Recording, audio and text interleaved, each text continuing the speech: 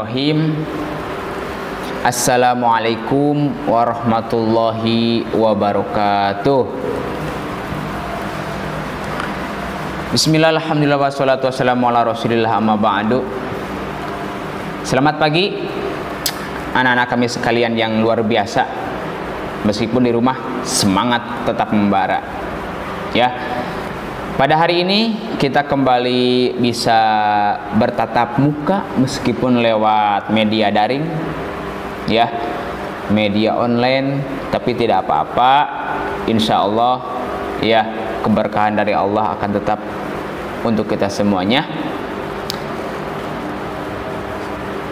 Seperti hari-hari sebelumnya hari ini kita akan kembali belajar cukup dua mata pelajaran. Yang pertama hari ini akidah, yang nanti kedua adalah bahasa Indonesia.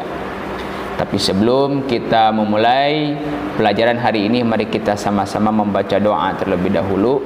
Awas bacaannya harus lebih baik, lebih khusyuk dari sebelumnya. Ya. Siap? Bismillahirrahmanirrahim. Allahumma nawwir qulubana binuri hidayatika kama nawwartal arda binuri syamsika abadan abada raditu billahi rabba wa bil islami dina wa bi muhammadin nabiyya wa rasula. Rabbi zidni ilma warzuqni fahma wa arinal haqqa haqqan warzuqna ittiba'ah wa arinal batila batila warzuqna ijtinabah birahmatika ya arhamar rahimin. Amin ya Allah ya alamin.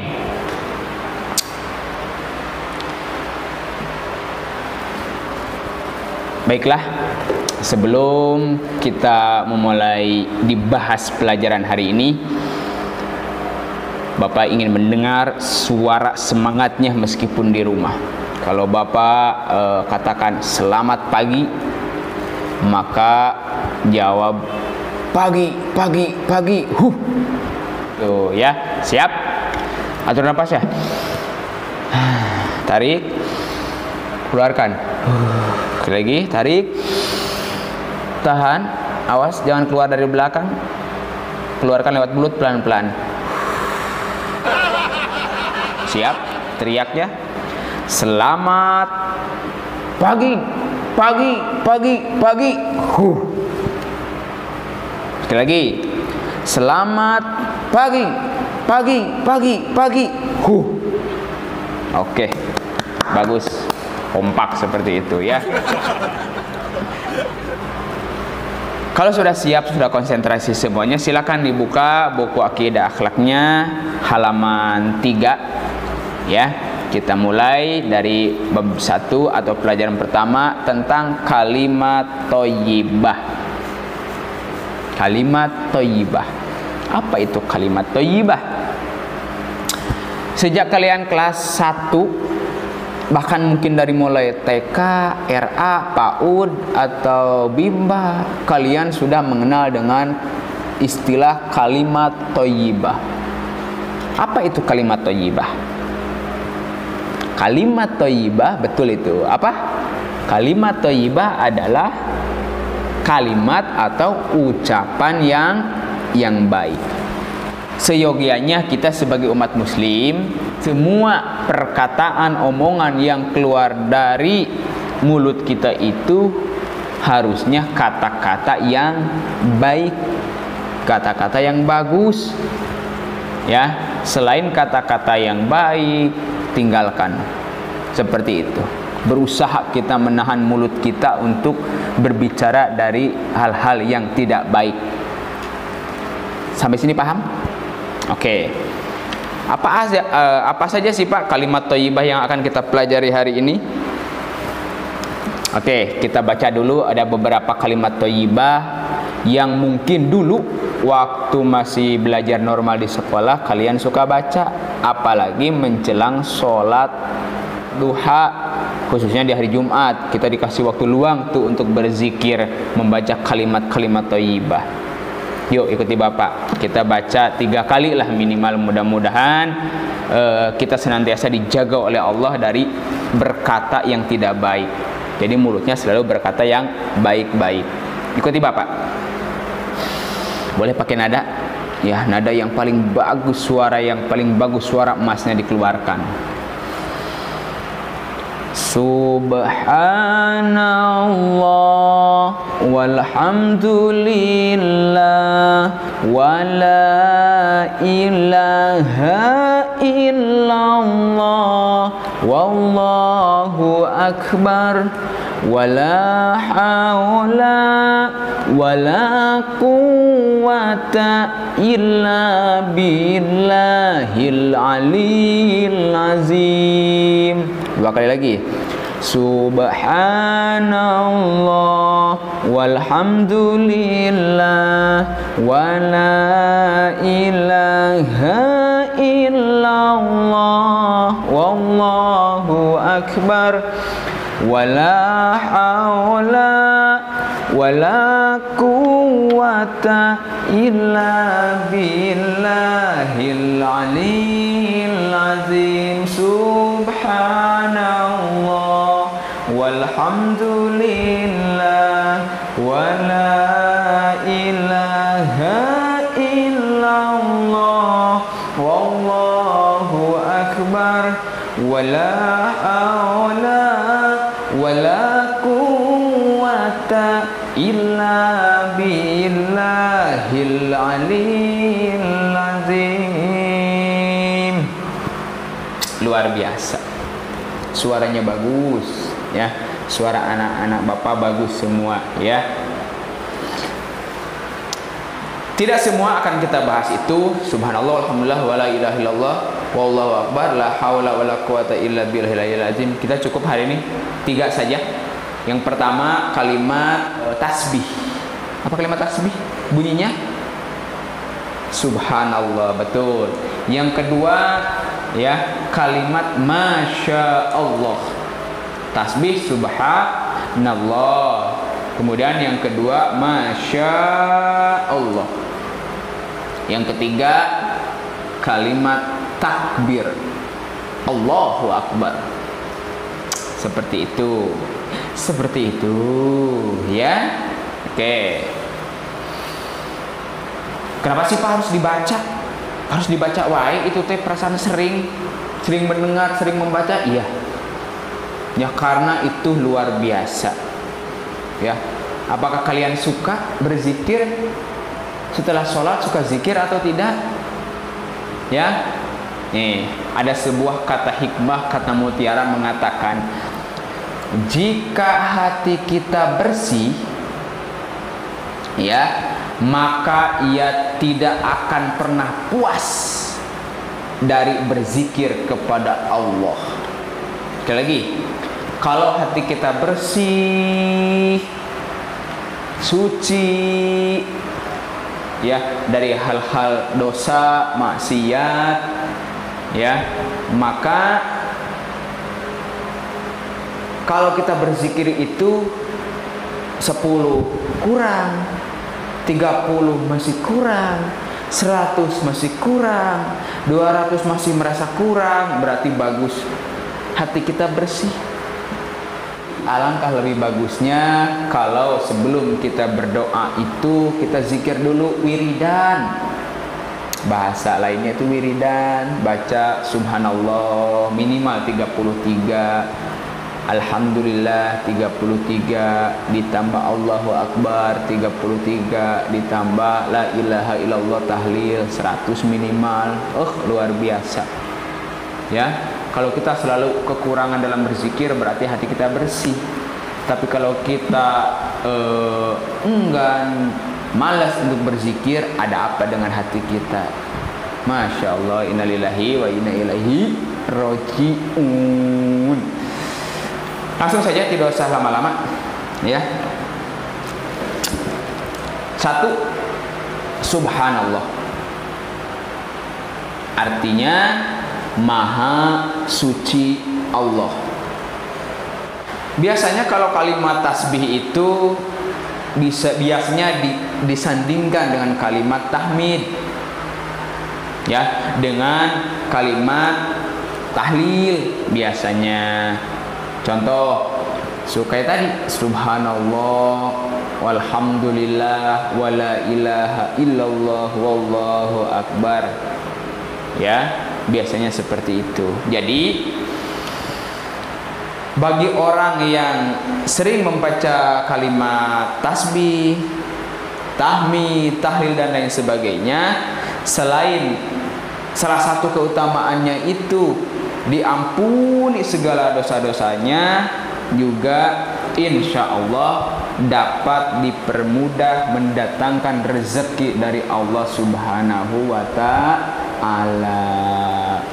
Awas, memahami rezeki itu bukan hanya duit, ya di kita kadang-kadang kalau bukan duit bukan rezeki eh suka salah rezeki itu bukan hanya uang ya punya orang tua yang baik punya kakak yang baik adik yang baik ya itu sudah rezeki ya kita sehat juga itu sudah termasuk rezeki nikmat dari Allah Subhanahu wa taala seperti itu ya Oke. Pak, bagaimana kita menerapkan ngelafal kalimat subhanallah dalam kehidupan sehari-hari ini? Seperti apa dong? Ya. Tolong dijelaskan. Siap. Bapak akan jelaskan ya. Dengan dibaca saja insya Allah kalian paham. Tapi supaya lebih paham Bapak jelaskan. Lihat halaman 4 paling atas ya. Menerapkan lafal kalimat thayyibah subhanallah. Ya. Satu. Ya. Dapat dilafalkan ketika berzikir setelah sholat lima waktu. Biasanya kan dari mulai astagfirullahaladzim terus la ilaha illallah Allahumma antas salam imam sampai kepada ilahi ya rabbi anta maulana subhanallah. Subhanallah, subhanallah. dibaca bukan diam bukan begitu itu baca subhanallah subhanallah. Mulut baca subhanallah hati mengikuti. Maha suci Allah maha suci Allah. Boleh sambil tangan ngitung atau pakai tasbih ya? Bukan ketika sholat eh, kata imam ilahi ya rabbi anta maulana subhanallah. Kalian malah diam. Yang kedua melihat kekuasaan Allah yang mengejutkan. Misalnya ketika melihat petir buar. Rusak tegur kalau musim hujan. Ya baca subhanallah. Yang ketiga mengingatkan imam ketika lupa rukun bacaan atau gerakan-gerakan sholat. Bagi makmum laki-laki nih. Maksudnya begini. Ketika imam imam itu contoh. Kelihatan nggak kalau bapak berdiri? Wah setengah nggak ada kepalanya. Nggak apa-apa lah. Kepalaku mana? Oke, misalnya ketika imam nih uh, misalnya terakhir baca surat pendek ya. Kul a'udzu birabbin nas malikin nas ilahin nas min syarril waswasil khannas allazi waswisu fi sudurin nas minal jinnati wan nas. Harusnya apa? Ruku. Harus harusnya si imam itu ruku kan? Allahu Akbar. Tiba-tiba si imam habis uh, minal jinnati wan nas. Langsung sujud. Allah. Nah sebelum imam sampai sujud itu buru-buru makmum yang laki-laki baca subhanallah. Tapi nggak usah teriak subhanallah. Tidak usah. Cukup. Uh, yang penting kedengaran oleh imam. Subhanallah. Subhanallah. Begitu. Jadi itu untuk mengingatkan imam. Bukan diteriakin eh pak pak imam jangan sujud ruku dulu. Eh batal. Nggak boleh. Cukup dengan subhanallah. Subhanallah. Maka imam kalau paham imam oh ada yang kelewat nih. Ada yang salah nih. Ya, eh, makanya eh, tidak sembarangan atau menjadi imam sholat itu. Menjadi pemimpin itu. Ya harus tahu. Ya aturan-aturan mainnya harus tahu hukumnya harus bagus bacaannya. Seperti itu. Ya jangan asal. Ya jadi pemimpin itu harus dituntut untuk serba tahu serba nyaho serba bisa. Ya seperti itu. Oke? Paham ya? Paham? Ya cukupnya begini. Kalimat subhanallah eh, disebut juga kalimat tasbih kemudian artinya maksudnya Allah. Kapan waktu dibacanya dilihat di sana? Berzikir setelah sholat lima waktu. Ketika melihat atau mendengar yang mengejutkan ya misalnya mendengar petir tadi sudah kilat badai tsunami dan lain sebagainya. Atau tadi ketika mengingatkan imam ketika lupa. Kalian paham itu saja nggak perlu bahasnya sesuai buku yang penting maksudnya sama. Silahkan bebas kalian bahasnya seperti apa yang kalian mudah untuk dimengerti dan diucapkan oleh kalian. Seperti itu. Oke? Beres untuk subhanallah? Kita akan mulai untuk kalimat yang kedua kalimat masya Allah tapi sebelum ke sana eh, kita rileks dulu sebentar ya Bapak akan ajarkan satu permainan untuk uh, mengembalikan konsentrasi. Tangannya begini, siap semua. Bisa tepuk, bisa. Tepuk, cepat tepuk. Satu, dua, satu. Oke, bisa. Ya. Begini, kalau Bapak uh, ucapkan pagi, maka tepuk satu kali. Kalau kata Bapak siang, tepuk dua kali. Kalau sore, tepuk tiga kali. Kalau malam tepuk berapa kali? Tepuk bukan empat kali tepuk setengah. Ah gitu. Malam. Ah, jadi setengah. Seperti itu. Siap? Konsentrasi kita coba. Bareng semua. Siap tangannya. Satu dua tiga. Pagi. Siang. Sore. Malam. Eh jangan tepuk. Sekali lagi. Siap pagi. Malam. Eh tepuk lagi. Setengah tepuknya. Eh nggak konsentrasi. Konsentrasi. Sekali lagi. Pagi. Siang. Sore. Malam. Malam. Malam. Pagi. Sore. Malam. Siang. Oke konsentrasi. Semuanya sudah bagus. Semua tarik nafas yang panjang. Keluarkan sampai tiga kali.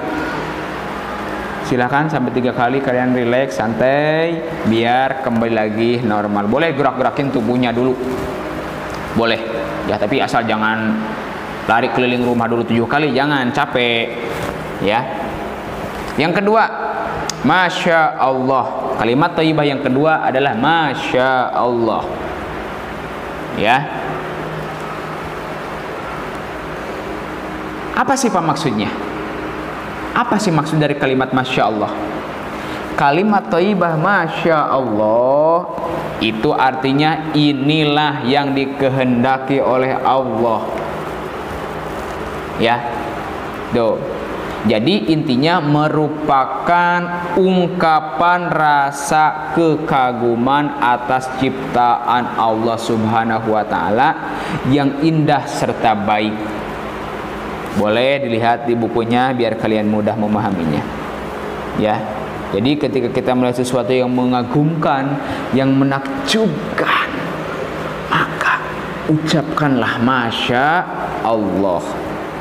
Ya, ciptaan Allah semuanya itu luar biasa. Ya, seperti itu luar biasa Allah menciptakan semut Allah menciptakan burung bisa terbang dan lain sebagainya. Termasuk lihat aja nggak usah jauh-jauh ke dalam diri kita. Ya begitu hebatnya Allah menciptakan tangan dengan lima jarinya. Coba bayangkan kalau jarinya cuma dua. Kayak kepiting. Gimana makannya? Ya itu lubang hidung ke bawah alhamdulillah coba ya kalau lubang hidung ke atas. Kalau hujan bagaimana? Ya tapi Allah menciptakan semuanya sudah terencana luar biasa. Ya maka patutlah kita mengucapkan Masya Allah. Untuk lebih jelasnya lihat di sana. Kapan Pak kita menerapkan lafal kalimat Masya Allah? Iya satu seperti tadi mengungkapkan kekaguman atas indahnya ciptaan Allah Subhanahu wa taala. Ya. Indahnya baiknya ciptaan Allah. Itu intinya begitu. Kemudian mengekspresikan penghargaan dan pengingat bahwa semua yang terjadi atas kehendak Allah. Semua yang terjadi atas kehendak Allah. Hari ini Bapak di sini kalian di rumah mungkin itu sudah kehendak dari Allah tahun ini kita mengawali tahun pelajaran dengan seperti ini online, daring, virtual, bahasa lainnya apalah. Mungkin ini sudah kehendak dari Allah seperti itu. Ya, kita tidak usah banyak menggerutu, yang penting kita maksimalkan ya apa yang kita bisa untuk tetap belajar dan mendapatkan il ilmu. Itu yang kedua. Subhanallah sudah, masya Allah sudah. Yang terakhir, kita percepat saja ya. Karena ini gampang lah. Materinya nggak terlalu sulit. Kalimat takbir Allah Allahu Akbar. Ya itu. Kalimat takbir itu artinya Allah maha besar. Sering kalian mendengar. Kita sering mendengar. Karena apa? Ini ada di awal ketika seorang muazin mengumandangkan azan. Allahu Akbar Allahu Akbar. Ois. Kayak di pertanyaan Bapak dalam azan ada berapa kali takbir? Hmm? Dua salah Empat, salah. Delapan, kebanyakan. Ada berapa? Ada li, enam, bukan lima. Sok salah wae. Ada enam.